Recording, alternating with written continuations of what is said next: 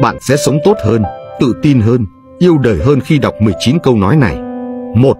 Không quan trọng bạn phạm bao nhiêu sai lầm, không quan trọng bạn bước đi chậm chạp đến đâu. Bạn vẫn chiến thắng những kẻ không bao giờ biết đến hai từ cố gắng. 2. Tha thứ là cách tốt nhất để cân bằng cuộc sống hiện tại. Khi bạn học được cách tha thứ và bỏ qua những gì thuộc về quá khứ, bạn sẽ nhận ra một điều, những gì bạn cần làm là chuyển mối quan hệ này sang một người khác thích hợp hơn. 3. Bạn đừng bao giờ ghét những người hay đố kỵ với bạn. Hãy kính trọng những sự đố kỵ đó, vì những người ấy chính là những người nghĩ rằng bạn giỏi hơn họ. 4. Hạnh phúc lớn nhất đơn giản chỉ là thời khắc hiện tại.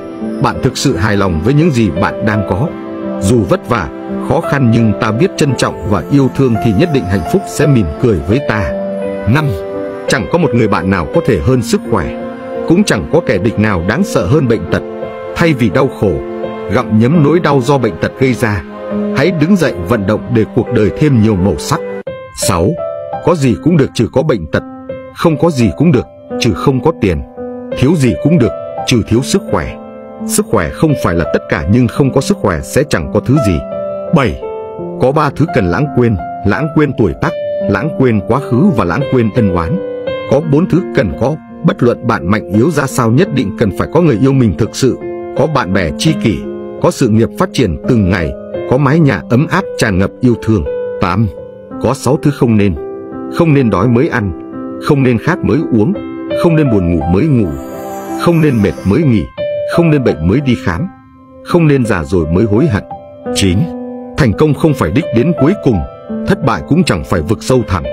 Đó chỉ là động lực để bạn vững vàng hơn trên con đường sắp bước. 10. Sự khác biệt duy nhất giữa một ngày tốt đẹp và một ngày tồi tệ nằm ở chính thái độ của bạn. Khi cuộc sống dồn bạn vào bước đường cùng, đừng hỏi tại sao lại là tôi, mà hãy nói rằng cứ thử tôi đi. 11. Đừng bao giờ rao bí mật của bạn cho một ai bởi vì tự bạn còn không giữ được thì còn trông chờ vào ai kia chứ. 12. Giống như hoa dại, hãy học cách sinh tồn trong mọi hoàn cảnh khắc nghiệt nhất, ngay cả khi người đời cho rằng bạn không thể. 13. Khi bạn muốn tìm một người thay đổi cuộc đời bạn, hãy nhìn vào gương. 14. Đừng bao giờ để hành động của người khác ảnh hưởng đến nhân cách tốt đẹp của bạn. Nếu người khác tôn trọng bạn, hãy tôn trọng họ. Nếu họ không tôn trọng bạn, vẫn cứ tôn trọng họ. Bởi lẽ, bạn chính là bạn chứ không phải là một ai khác. 15. Đại dương mênh mông sẽ không thể đánh chìm một con tàu nếu nước không vào bên trong nó. Cũng tương tự như thế, những khó khăn sẽ không thể quật ngã bạn nếu bạn không cho phép chúng làm thế. 16. Cuộc đời chỉ có một. Vì thế hãy làm những gì khiến bạn hạnh phúc và ở bên người khiến bạn luôn mỉm cười. 17. Nếu như bạn mong đợi người đời sẽ tử tế với bạn chỉ vì bạn tử tế với họ, thì cũng giống như việc bạn trông chờ một con sư tử không ăn thịt mình chỉ vì mình không ăn thịt nó. Cuộc sống vốn dĩ không công bằng, hãy học cách thích ứng đi. 18. Nếu kẻ khác nói xấu bạn, phán xét bạn mặc dù họ không biết gì về bạn, đừng buồn, hãy nhớ kỹ một điều, chó sủa khi gặp người lạ. 19.